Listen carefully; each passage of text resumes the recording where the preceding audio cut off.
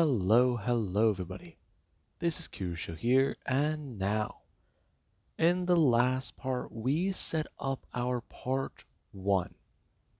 Now, I'm not gonna lie to you guys. I didn't expect to make part two this fast, but let me just say, I thought about things a bit more, and I'm gonna be honest. In the beginning, this series might come out fast, but it actually might slow down the more and more I start to dive into more One Piece stuff. Now, I got a few questions, so let me just clear a few things up. Now, Deku is not going to be the only person with the Devil Fruit in this series. I plan to bring in a few, possibly more than a handful, I won't say for certain, but I do know I do have some written down here. Second, Haki will exist. Because One Piece, it sort of doesn't make sense if some of the characters can't fight the others without one ability. And if it's just devil fruits, then I feel like that kind of impairs the series a little bit more. Number three, there are bounties. Number four, there is the world government. Now, let's explain that with a bit more world building now, shall we? In this world, there is a specific quirk to human ratio.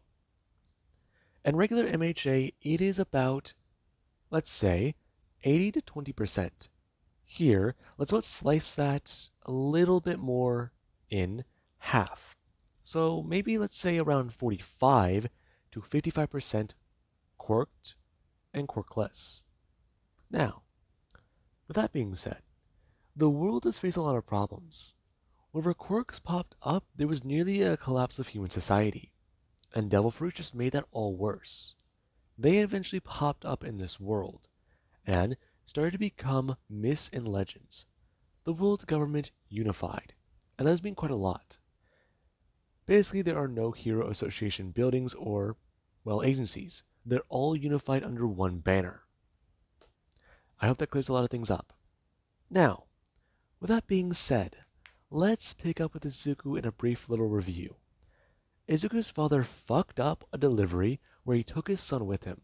Deku acted a little stupid and ate the Pika Pika no Mi by accident, and his father was given a choice.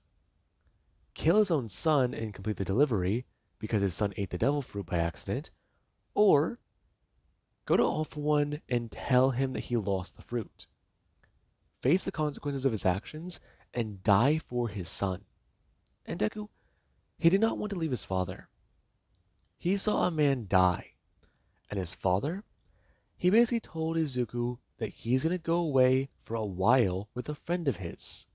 Before Deku was dropped off by this lady. Now, Izuku was given a necklace, and the lady, she left him there. And with that being said, let us currently pick up with Izuku. Izuku, he is confused about quite a lot of things. He's scared and he's worried. But most of all, he does still have the necklace. Izuku hasn't heard from his father in a long time. He's been here for months, and things have been weird. Apparently, he does have a gift, but it's so odd. Let him take his mind. Right now, Ham's not going to look down at his hand, watching as it is going to glow. And Deku, he does try to cut that out, trying to stop it from happening. And he's just confused. There are certain things he doesn't mean to do. There are certain times where his abilities, they activate, and he's kind of a bit confused by them. From what the doctors say, they don't understand his abilities that well. And the person here at this building, they're not really too sure. Izuku's been here for a while, and right now Omen is walking into the room. Deku going to look up, as if someone going to sit there. Him hiding in the corner. Izuku. I'm I'm here. Will you come out? I'm scared. What are you scared of, child? Um, my my gift. I don't know what it does. Doctors don't know what it is. And I'm a bit afraid. Why? I. I don't know. I try and use these powers, but I don't know how. Now, Luna's going to walk over. I'm going to bend down and bring her hand up, onto Izuku's head. Her going to express to him. Izuku doesn't need to understand. They're going to turn and look at the lady. Her, right now with a scar on her face and an eye patch. And Deku, he can tell. She used to be, well, she still is, a very pretty lady. But that scar, it's me. It means that she was involved with something bad, right? Bad people have scars. Deku, he doesn't want to look back down, and he doesn't want to shy away. The woman turned to express to him, Izuku must be hungry, right? I I am. But I don't want to go out there. It's all right, child. Your gifts are nothing to be concerned about. Afraid of? There are many things you can do with it. Really? Yes. Though, if you are afraid of your gift, you will not properly harness it. How do you know that? Child, I know such things because I've seen it before. A few years ago, there was a boy here who was afraid of his abilities. He harmed someone, I know, and he was afraid of his own powers. Though, nowadays, he can actually handle them. Did, did he hurt you? No, child. Why would you ask that? Your, your eye. Your scar? Don't bad people have scars? No, child. Good people have scars because they try to protect others. This is a reminder. Her bring her hand up to her eye patch, and running her fingers over the leather and feeling her face. She often doesn't like to think about it. Tries to keep it in the back of her mind, and Deku can see it. He also heard it. Child. Her something a lot more serious. And then Deku doesn't see that look in her eye. The same look his father had that night. You need to go eat. I, I understand. They're going to stand up and walk out of the room. The woman's somewhat trying to at least encourage Izuku to try and be a bit more social. Deku, he's been shying away, and he's really been by himself. He's a smart and intelligent young boy, but he's just very scared. But why is he afraid? And that doesn't concern her. Izuku used to have nightmares. He talked about the clawed man, whatever that meant. And then there's that sound he kept making, the way he described it a gunshot. Though it isn't too out of the ordinary. Then her mind. Her is going to think about the necklace she knows Deku has around his neck. That is a familiar seal, and that has been quite a lot of things. That necklace shows that Izuku has protection, and he is a part of a familia, though it does concern her. The boy is being hidden, and while this place is a place of peace, it is also concerning to her. The boy's powers could definitely be useful. He just doesn't understand them yet. She's seen them he can light up his hands and the heat produced. It's definitely powerful. He's destroyed doorknobs before, and that's definitely a problem, but there's also that other thing he's done before. Whenever he tries to run, he just suddenly moves across the entire area. Just fast. Uh, faster than the eye can see. His power, his gift, it definitely is something interesting.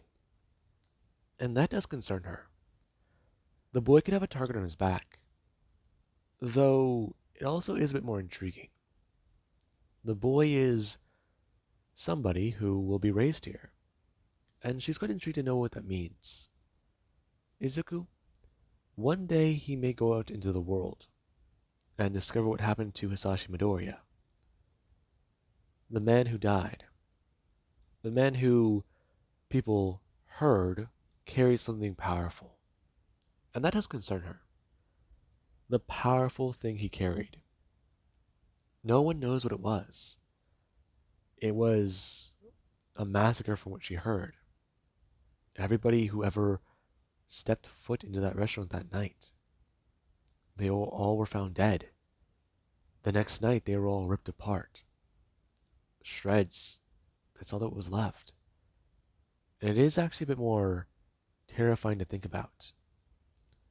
The boy was basically the only survivor. And that's if she doesn't know anyone else. Hisashi Midoriya. What the fuck did he do? That in her mind, and Deku's gonna sit down with the other children. Him going to eat breakfast with them, and someone trying to go play. And Deku, he does he's trying to think a bit more about his abilities. He's a bit more concerned about many of them. And that has been quite a lot. And Deku, people do try at least make fun of him for his powers. Others could show off their own quirks. While Deku, he shows off his abilities. And that has been quite a lot. Deku's powers are seen as strange and just not that cool. But Deku, he actually wanted to try and learn more and more about them. Him looking at his glowing hands and thinking about many things. And there actually was where a kid, they threw out their hand, they were going to blast out flames from their fist. And Deku, he saw that. Him actually something going to try and point up, him trying to throw out his hand to see what he can do. And there actually was where a beam of light flew out of his hand. And Deku, he looked up, and his eyes widened. And everyone, they actually stared up at Izuku. And there actually was the woman who was outside. Her, right now, leaning against the building and turning her head. Her trying to watch the children, making sure that they didn't do anything stupid with their powers. And she had the cigarette in her mouth. Her gonna turn her head as she heard the flames bellow. And then Deku, he blasted out a massive ray of light. And she actually dropped her cigarette, it falling out of her mouth, as she actually isn't going to turn, her fully facing that. For Deku needs to bring his hands down and look at them, them still pouring with energy. And Deku's alarmed. It's so weird. And all the kids started to cheer for Izuku. They thought his hands just glue. His eyes glowed, and that was it. I mean, he, he's basically just a human flashlight, right? But no, he actually has cool powers. And there's that thing he can do. The sudden move thing. I mean, it's kind of funny. Deku, he always falls over doing it. And that's where people, they do actually find it to be very hilarious. Deku, he was always seen as clumsy. They always tried to play. And whenever he tried to run, he always either did use that power, or he just was able to run regularly. Trying to gain a handle over it was what was the problem for Izuku. But, as time started to go by, things felt easier and Izuku, he started to understand a bit more about these powers. It took a few months, but he started to understand a few things. He can move in a straight line whenever he turns into a flash, a burst of light. But stopping and, well, you know, moving around, he can stop. But moving around like that is not possible. And Deku he finds to be very strange. Along with that, he also discovers one other thing. He can kind of fly. And that was definitely a, not a really a fun lesson to learn. Especially whenever an admiral had to bring Deku back home. And that meant quite a lot. Now, Deku, he was quite alarmed by a few things. And some people, they were actually getting a bit more intrigued by a few things. Deku one day he was found whenever someone saw his family necklace, and that said quite a bit. It was quite intriguing. And Deku, whenever people tried to approach him, there was or somebody they actually stepped in. And this person, they revealed themselves. and the men they went bolting away. As the person is at least walk up and bend down. Then trying to talk to Izuku. Hi Izuku. Do you remember me? I don't think so. I was the person your dad said I had to look after you. Oh, I do remember you. Good. Listen, a lot of things are happening, okay? And I don't think that you're safe right now where you are. Safe? What? Izuku, I need you to come with me, okay? Afterwards, I'll explain a few things. Listen, um, you gotta understand. There's been a lot happening, and we need to move you. Now. But, uh, but, but what about the place? Uh, what about. Izuku, I'm sorry. I. Hmm. Okay, I know you sound upset, but. Izuku, your father told me to keep you safe.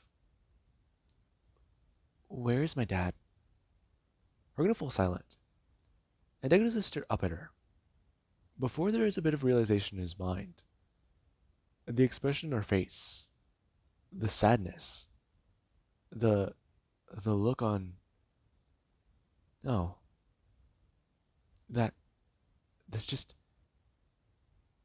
she she wants to his dad his dad had the same look whenever his mom died I was going to turn and try to bolt away. However, there is the one who's going to throw out her hand. However, Deku is immediately to turn in the light and zoom right by. A lot of people are a bit more alarmed, since right now a flash of light is going to fly past them. Some are a bit more alarmed. It was bright, and right now there's somewhat disoriented to a few people. Deku going to move fast, and they're actually going to try to slow down. Deku going to slow down and going to try and come to a full stop him going back to running normally and trying to slow down more and more. For Deku is going to find himself going to turn his head. And there actually is a vehicle in the road. Deku watching it barrel right at him. As Deku is going to try and do one thing. He goes to move up. And Deku, the moment he does to move directly straight up, it is a bit more alarming. The person trying to run through and try and find Deku. As clearly there is where Deku, he's flying straight into the air. And he is trying at least trying to do a few things. There's a lot going through Deku's mind, and he's panicking. And Deku, he actually does start to fall. Whenever he tried to stop and go back down, he didn't know how to stop. He didn't know how to turn. And that was an issue. And Deku, he was a lot more alarmed, especially when he started falling from the sky and screaming out. And Izuku, he tried to look around. He didn't know what to do. He knows that his body turns into light, he he knows that. He just he turns bright. He turns and this this is scary. Then on his mind. And Deku, he does have a lot through his mind. His dad and mom are dead. He's an orphan. And and they're gone. And Deku doesn't look up. I'm gonna see his necklace. As Deku, he doesn't look back down. I'm gonna turn his body into light and zoom down towards the building. And Izuku Whenever he does to look down, he actually does a bounce off a window, the light smashing onto the ground as Deku, he actually does someone to lay there for a second. Him going to try and sit back up and look around. As someone they do go to run over. Deku, after he rolled out of the street, he smashed onto the sidewalk. And someone they ran over to try and check on him. Izuku going to somewhat sit up and feel weird? Ow. The person coming to run up asking, Izuku, hmm? uh, how, what, where? Okay, Izuku, we're gonna bend down. You need to stay calm, okay? But, my dad. The person's gonna turn and ask, Who is she? I'm the boy's guardian. Are you serious? Young man, do you know this lady? I. I do. Listen, this isn't any of your concern. And he might. He's hurt. He needs to go to a hospital. I'm gonna take him to a doctor right now, okay? Listen, he doesn't have control of his abilities. Are you serious? You never taught him how to control his abilities? Alright, listen, you fucker. We're gonna turn. I'm gonna express. He doesn't know anything about the situation, so how about he backs off? And the person's gonna bring up their hand, expressing. Why don't they want to hold up some ice? You know, they're not a person who can be trifled with. For the ladies at least pull a gun, we're gonna hold it directly to the man's throat. We're gonna pull back the hammer. Listen, asshole. Hey, hey, hey, hey, hey, hey, hey. Right. Now, what were you saying? Um, I, I didn't say nothing. Good. Now, about you run along? All right? I gotta help this kid. He's been through a lot. I'm gonna actually pull back the hammer, squeezing the trigger a little bit, and gonna lower it back down. The bird's gonna turn and bolt away. After another eight resources to lower the hammer all the way down, I'm gonna put it back in her waistband. Izuku don't stare at her. She has a gun. A freaking gun. And the one is gonna walk over. We're gonna bend down and pick Izuku. Okay, a little scuffed up, but uh, how did you land? I, I don't know, but I him is someone gonna point, and the ladies a turn. Are gonna see the window. Wait, light bounces off windows. Deku hearing that out loud, and Deku he does look to look around. Really? But how does that work? Wait. Wait a minute. He can only move in a straight line. But windows, they re- reflect singe, right? So, so that means they're to click. He can bounce off reflective surfaces, and that does mean quite a lot. And right now, Izuku, he is taken away by the lady, and she does try to explain a few things. Yes, Izuku's mother and father are both dead. Izuku's father died because he was attacked the night she took him, and his father didn't want Izuku to be involved with that. She's not gonna lie. We're now, them gonna get into the car. Her gonna take Deku to a doctor that she knows, someone that she can trust. She tries to explain the whole situation. Izuku's father was involved with some very bad people, and right now some of those people might be trying to track him down, trying to find him but she can't really know. She's not trying to take any precautions. Her right now gonna stop at the light, gonna turn her head. I express to Izuku. There are some bad people who are after him. If they aren't the ones she's thinking about, there are definitely others. Though, she just want him to know. She didn't want him to be pulled into this life. Hisashi didn't either. Though it might have been inevitable. But Izuku he has a very powerful gift. From what she understands, he definitely has a powerful gift. What do you mean?